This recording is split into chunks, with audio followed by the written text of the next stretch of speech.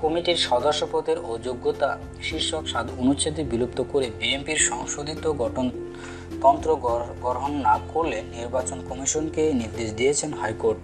বুধবার দুপুরে বিচারপতি আশফাকুল ইসলাম ও বিচারপতি মোহাম্মদ আলীর হাইকোর্ট বেঞ্চ এই আদেশ দেন।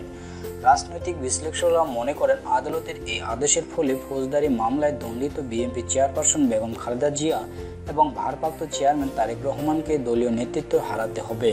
নির্বাচনে তাদের দলীয় মনোনয়নও দেওয়ার সুযোগ থাকছে না।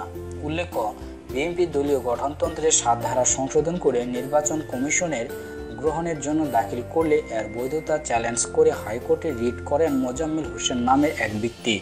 আইনজীবী ছিলেন মমতাজ উদ্দিন মেহেদি। দণ্ডিতরা পদে থাকতে পারবেন না। বিএনপির গঠনতন্ত্র সংশোধনীতে বাদ দেওয়া এমন বিধান নেই।